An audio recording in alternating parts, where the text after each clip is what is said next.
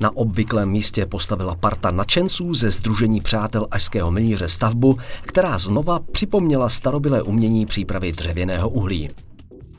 Další ažský milíř byl zapálen v sobotu 2. června 2012.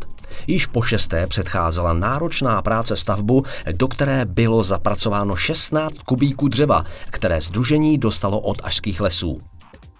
A přesně po týdnu, v sobotu 9.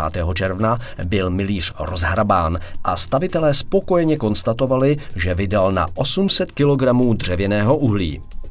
Počasí se umoudřilo a pořadatelé doprovodného programu byli odměněni velkou návštěvou.